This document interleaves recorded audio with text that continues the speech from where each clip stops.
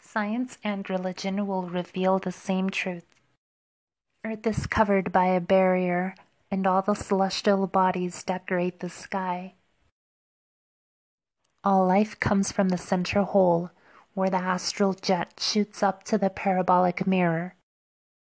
This life force powers the sky and drains down on us in the form of astrology and the matrix code.